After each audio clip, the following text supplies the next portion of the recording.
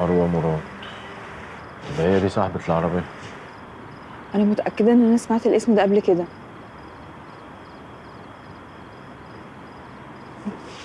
أنا ما سمعتوش أنا قريته.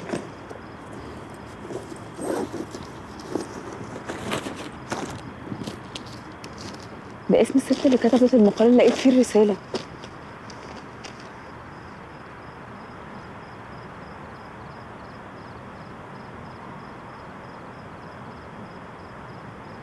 كده يبقى الحاجات ليها علاقة ببعض زي ما كنا بنقول.